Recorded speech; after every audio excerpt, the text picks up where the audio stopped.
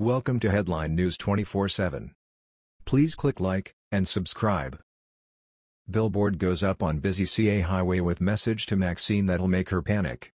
A massive billboard appeared in California that absolutely roasted Maxine Waters and likely has her fuming from the four words it says so big people can read it from the highway in their cars. The well-known Democrat popular among her party, yet often ostracized for mumbling and not making sense while working at an age indicating that she should have retired many, many years ago. Nevertheless, she persists and she continues clamoring on with her hashtag resist antics and trying to bully President Trump into resignation. Her antics aren't working, but there's finally people speaking out about her in a big way. This time someone paid to have a billboard blasting Maxine Waters and how many in the public truly view her. The billboard said rotten to the core and it labels her as one of the most corrupt politicians to grace the country. In fact, Many people don't know much about Maxine Waters except for every time she stumbles on her own words or babbles about something incoherently. Many people aren't sure how she was brought into politics or what she does to earn a salary. It was Omar Navarro who posted a photograph of the billboard which is shown below. The billboard was reported to be paid for by the Stars and Stripes Forever PAC which appears to be in support of conservative values, the same common sense and logical values that many people like Maxine Waters fight against. The Facebook post can be seen here with so many comments that support the billboard that talks poorly of Maxine Waters and references her as being corrupt. Maxine Waters now calls for President Trump to be impeached after pulling out of the Iran deal. It seems as though Maxine Waters still doesn't have a grasp on politics at her ripe age of 79. Waters continuously calls for Trump's impeachment, but she may not have an idea of how the impeachment process works either.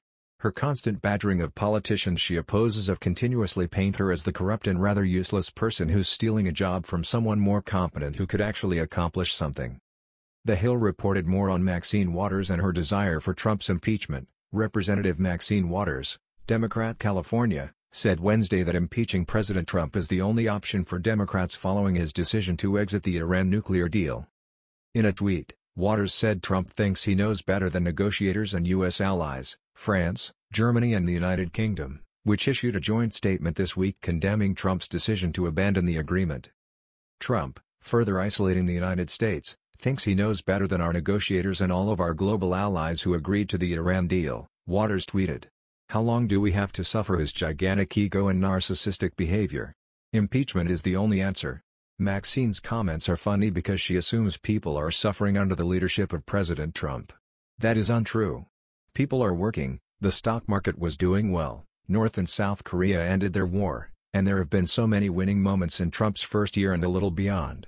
Trump had no political experience going into the election in 2016, but his campaign was different and gave voters an option for people to choose a non-politician.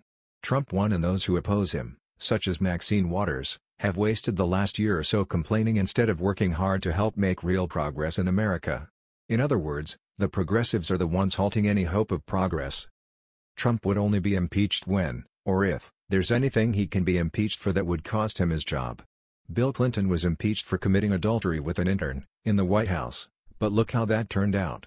Trump has the backing of the American people, with the exception of a few from the hashtag resist movement who commit crimes or cause harm and vandalism to property while fighting against free speech. Will Maxine Waters continue crying about everything? Will she ever resign and step out of the spotlight so that someone else can take her job since she's not doing much with it? That was the news. We thought you might be interested in knowing about this. Please click like and subscribe. Thank you.